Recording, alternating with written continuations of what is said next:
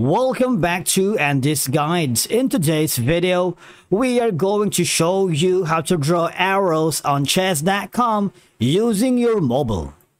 Let's begin. Now, the first thing that you need to do is to log in using your credentials. If this is your first time on chess.com, click the sign up option and from here just follow the on-screen instructions and you're good to go. Now, drawing arrows on chess.com helps illustrate potential moves, tactics, and strategies on the chessboard.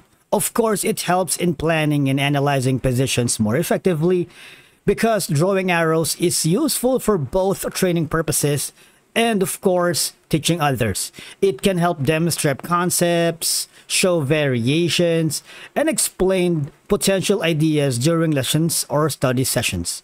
Now, for you to be able to draw arrows in chess.com, I need you to go to the upper left corner of your account and click on the profile.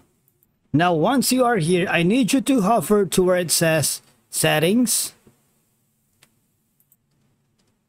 And here, you should be able to have an option that says live chess. All right. So I need you to quickly scan through the uh, options.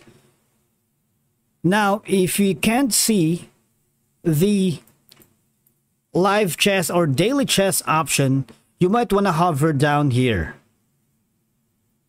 Switch back. And of course, go to the bottom where it says report a problem. All right. Normally, you should be able to do it and you need to contact the uh, customer support about your problems on not showing the uh, draw arrows option under the live chess. It should be uh down. It, it should be in that section. It's already um easy to follow. Now the thing is, you might want to make sure that you have installed the uh, latest version of the chess.com.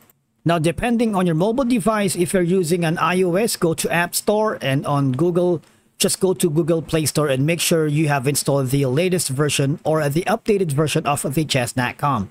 Or simply go to your app settings. Now here, go to app management, go to app list, and of course, find the chess.com. All right. I need you to go to the storage and cache and click on clear storage and clear cache because it's one of the quickest way to fix any bugs and glitches that is happening to your chess.com app. Because normally you would be able to find the live chess and there's going to be a section that says draw arrows all right and i believe that's it for today's video. Thank you so much for watching. We will see you again in the next video